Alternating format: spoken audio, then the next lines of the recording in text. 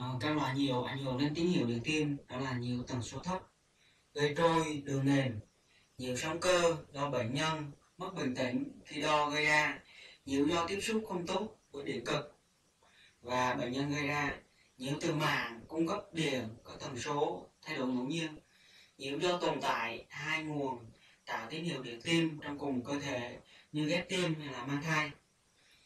Còn khái niệm về tín hiệu điện não tín hiệu điện não hay là EEG đấy là điện thế hoạt động do não phát ra. Tín hiệu mà ta nhận được là phản hồi điện sinh học ngay tức khắc của tế bào não. Việc thu nhận à, xử lý tín hiệu điện não sẽ giúp chúng ta chuẩn đoán chính xác được các bệnh về não.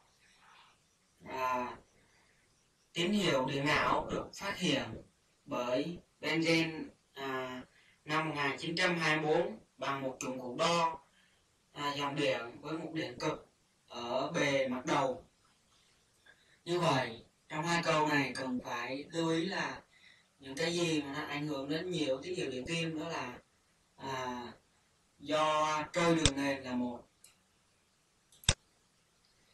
À, do bệnh nhân mất bình tĩnh là hai. Do tiếp xúc không tốt giữa các điện cực và bệnh nhân gây ra là 3.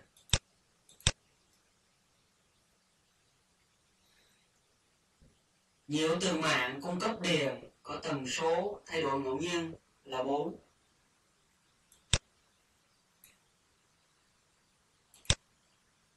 Có tần số thay đổi ngẫu nhiên là 4. Nhiều do tồn tại hai nguồn tạo tín hiệu điện tim trong cùng cơ thể là là 5.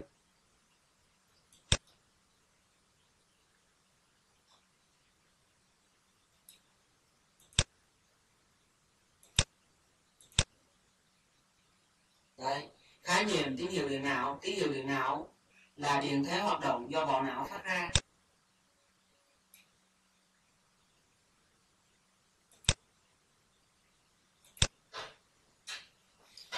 Tín hiệu mà ta nhận được là tín hiệu phản hồi điện sinh học ngay tức khắc của tế bào não.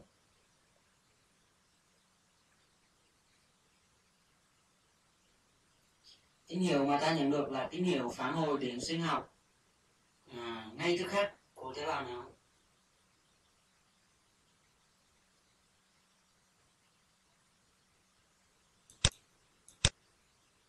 nó có từ ngay tức khắc đấy.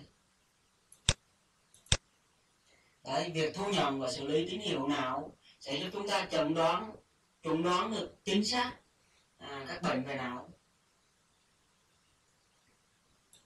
Giúp chẩn chuẩn đoán chính xác các bệnh về não tín hiệu điện não cũng được phát hiện bởi à, Bengen năm 1921 bằng một dụng cụ đo dòng điện với một điện cực à, à, ở mặt đầu.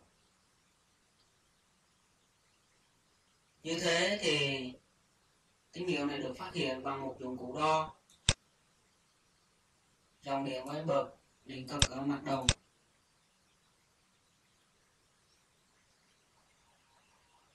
như thế thì nó đã hoàn thành xong được